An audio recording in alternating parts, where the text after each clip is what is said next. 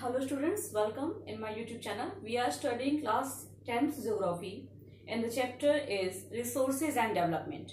Students, as you know that we have studied so many topics in this chapter such as types of resources, about sustainable development, about the Earth Summit 1992, about the Agenda 21 also.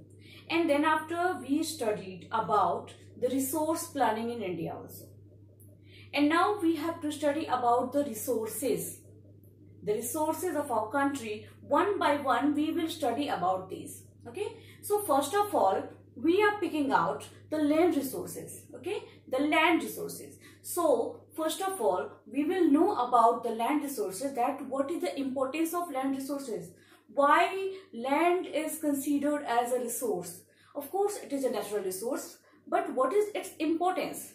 So first of all you know that among all the natural resources, land is one of the most important natural resources. Okay, so come on, uh, let's start. Land resources are the natural resource of utmost important. Land resource बहुत ही important resources में से एक है बहुत important ये important क्यों है आइए इसको देखते हैं first of all it supports natural vegetation wildlife human life, economic activities, transport and communication systems. Yes, ये जो नेचुरल रिसोर्सेज है ये ऐसे रिसोर्सेज हैं जो बहुत सारी चीज़ों को सपोर्ट करते हैं। आप सोचो कि हमारी लाइफ से इस अर्थ से लैंड गायब हो जाए ज़मीन ही न रहे भूमि ही नहीं रहे तो हम क्या कर पाएँगे? कौन सी एक्टिविटीज़ प्रॉपरली हो पाएँगी? आप सोच के देखो न ह्यूमन एक्टिविटीज़ हो पाएँगी इवन ये हमें रहने के लिए जगह देता है। हम इसी लैंड पे रहते हैं। और सिर्फ़ लैंड पे रहना ही क्या? इसके अलावा नेचुरल वेजिटेशन भी इसी पर है। फिर साथ में वाइल्ड लाइफ को भी, चूँकि नेचुरल वेजिटेशन यहीं पर है, जंगल यहीं है तो वाइल्ड लाइफ को भी रहने की जगह यही देता है। ठीक है? इसके बाद हम देखते हैं कि ह्यूमन लाइफ हमें तो देता ही जगह। और जितनी भी इकोनॉमिक एक्टिविटीज़ ह्यूमन करते हैं, हम जितनी भी इकोनॉमिक एक्टिविटीज़ करते हैं, चाहे वो एक्टिविटीज़ प्रोडक्शन की हो कोई इंडस्ट्री सेटअप करें, या फिर हम एग्रीकल्चर करें, या फिर हम एनिमल हस्बेंड्री करें, या हम छोटे मोटे अपने घर से ही काम करें। हर एक चीज़ के लिए हमें लैंड की ज़रूरत पड़ती ही पड़ती है, ठीक है? एंड ट्रांसपोर्ट यस अब आप सोचिए कि अगर ट्रांसपोर्ट सिस्टम के लिए लैंड ना हो आप कहोगे कि ठीक है लैंड ट्रांसपोर्ट को हम छोड़ दें रोडवेज़ रेलवेज को छोड़ दें तो एयरवेज है वाटरवेज है। लेकिन मुझे बताओ कि एयरवेज जो है, वहाँ भी जाने के लिए आपको रोडवेज़ की यानी लैंड ट्रांसपोर्ट की ज़रूरत पड़ती है। एयरपोर्ट जाने के लिए भी और एयरपोर्ट भी जो है, वो लैंड पे ही उसको बनाया गया है, ज़मीन पे ही बनाया गया है। ठीक है? वाटर ट्रांसपोर्ट है। शिप है बोट है, नदियों तक और शिप के पास तक जाने के लिए भी आपको लैंड ट्रांसपोर्ट की ज़रूरत ही पड़ती है। लैंड से होके ही जाना पड़ता है, ठीक है? तो हम देख रहे हैं कि ये जो लैंड रिसोर्सेज है, ये हर एक चीज़ को सपोर्ट कर रहा है। यानी इसके बिना तो हम कुछ और सोच ही नहीं सकते, ठीक है? बाकी सारे रिसोर्सेज तो बात की बातें हैं, क्योंकि बाकी जितने भी रिसोर्सेज हैं, उन्हें कौन यूज़ में लाता है? लिविंग थिंग्स हमारे काम में आती हैं तो हम ही उसे रिसोर्स बनाते हैं। जब लैंड नहीं होगा, हम ही नहीं होंगे तो हम रिसोर्स क्या बनाएँगे? ठीक है?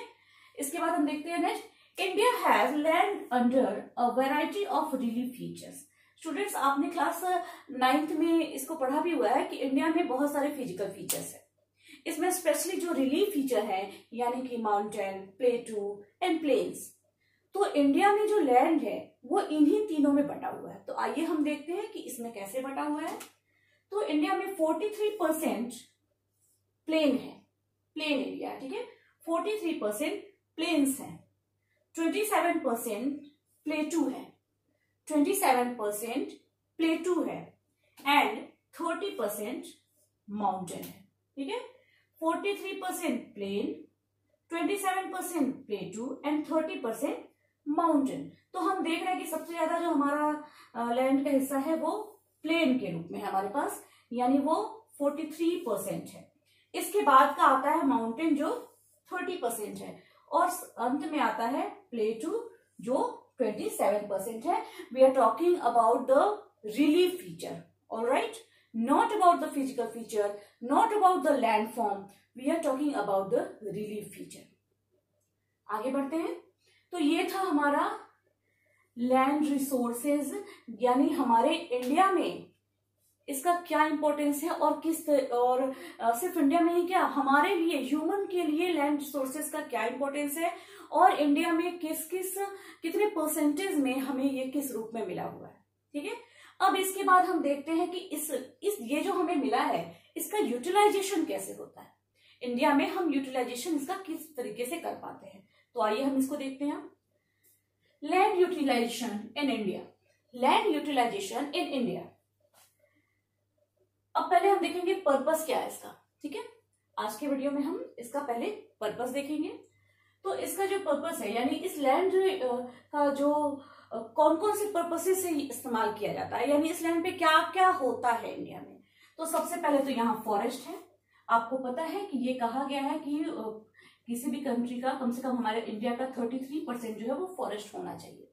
जो अभी तक हम उस जगह तक नहीं पहुँच पाए हैं। हालाँकि ये डेटा जो है, ये काफ़ी थोड़ा पहले का है, लेकिन इसे थोड़ा सा भी बढ़ा हुआ डेटा बट ये जब जब का हम बुक में पढ़ रहे हैं तो उसके अकॉर्डिंग ये डेटा है फॉरेस्ट का। हालाँकि उसके बारे में हम बाद में बात करते हैं। सबसे पहले तो ये लैंड एरिया जो ये फॉरेस्ट के रूप में यूज़ होता है। इसको, इसके लिए फॉरेस्ट कवर ये पहली प्रायोरिटी है। फॉरेस्ट कवर होना ही चाहिए। क्योंकि हमें लैंड का इस्तेमाल बहुत सारे पर्पसेस से करना है। हमें लैंड का इस्तेमाल रहने के लिए भी करना है नेचुरल वेजिटेशन के लिए भी करना है वाइल्ड लाइफ के लिए भी करना है। और इसको इस तरीके से यूज़ करना है कि आने वाले समय में भी, जैसे आपको याद होगा सस्टेनेबल डेवलपमेंट का कंसेप्ट तो आने वाले समय में भी ये जो लैंड रिसोर्सेज हैं, ये हमारे लिए यूजफुल रहे। और आज के इनके इस्तेमाल से हमारे हमारे जो आने वाले जनरेशन हैं, उनकी नीड्स पे कोई कॉम्प्रोमाइज नहीं किया जाए।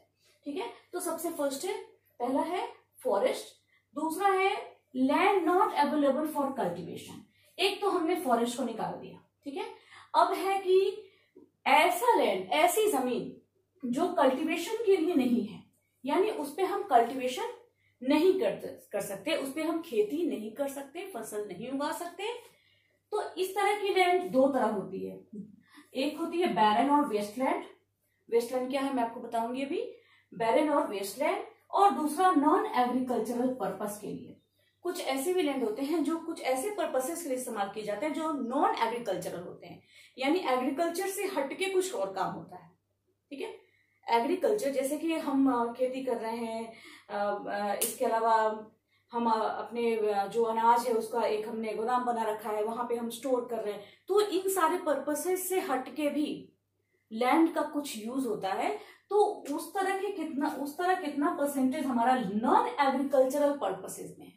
यानी ऐसे कामों में लगा हुआ है जो कि कल्टीवेशन जिसपे नहीं हो रहा है ठीक है? और ये है बैरन और वेस्टलैंड ठीक है? तो ये आ, मैं आपको बताती हूँ बैरन और वेस्टलैंड क्या है। पहले हम इसको पूरा जान लें फिर लास्ट में मैं इसको भी आपको बताऊँगी अभी। इसके बाद हम आते हैं net sown area net sown area इसको हम एन एस ए भी कहते हैं। नेट सेम सोन एरिया ये जो एरिया है, इसका मतलब हुआ कि जिस इतना एरिया इतना हिस्सा लैंड का जिसपे निश्चित रूप से कल्टीवेशन होता है। यानी उस पे सोन का मतलब बुआई। तो बुआई होती ही होती है, इस पे एग्रीकल्चर होना ही होना है। ठीक है? नेट सोन एरिया मतलब इस पे होता ही है। ये निश्चित है कि इस पे खेती होती है। तो ऐसा जो हिस्सा है हमारे यहाँ, वो forty five point five percent है। Forty five point five percent आपको बता दो कि ये जो forty five point five percent है, ये किसका है?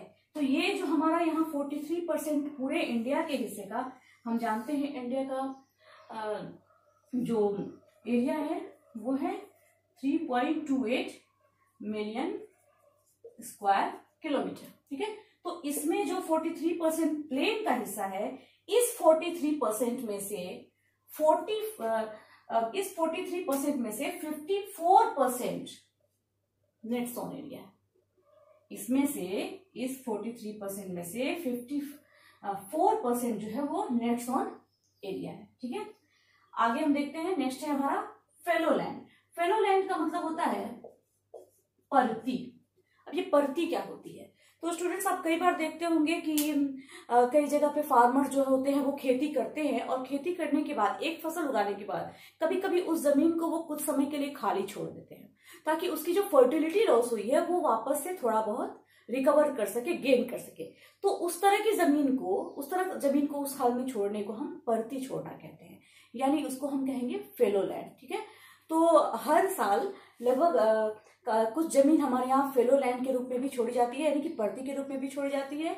और इसके अलावा अदर कल्टिवेटेड लैंड कुछ अदर अनकल्टिवेटेड और इसके अलावा कुछ ऐसी भी ज़मीन है जिसपे हम कल्टिवेशन नहीं करते।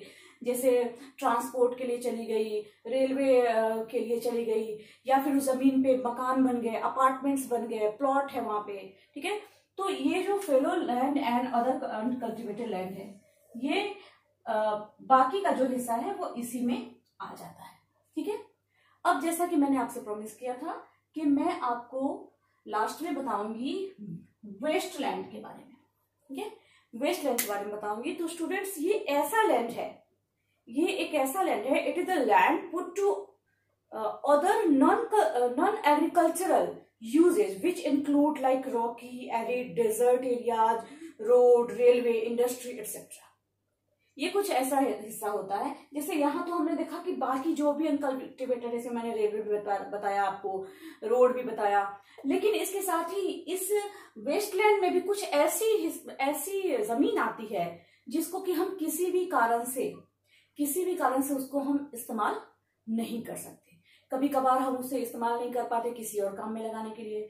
जैसे अभी तक मेरी ज़मीन थी मैं उस पर फ़ार्मिंग कर रही थी अब मैंने अपना घर बना लिया अपना मकान बना लिया उसी ज़मीन पे तो मैं अब कल्टीवेशन कैसे करूँगी? ठीक है?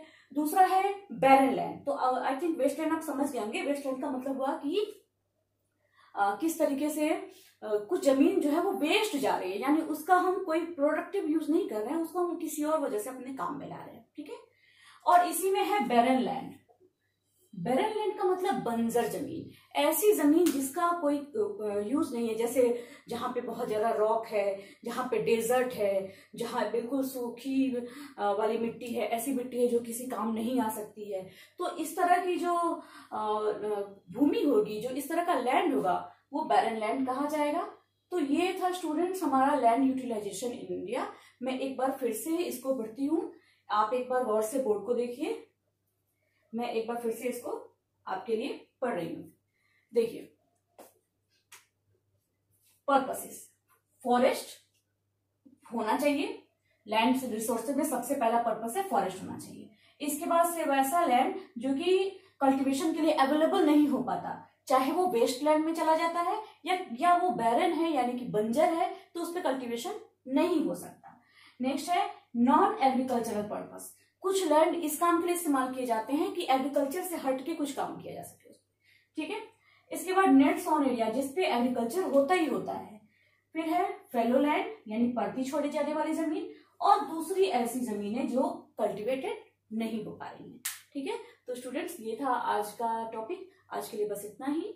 नेक्स्ट वीडियो में हम फिर मिलेंगे। तब तक के लिए थैंक यू सुरक्षित रहिए, घर में रहिए और अच्छे से पढ़िए। Thank you bye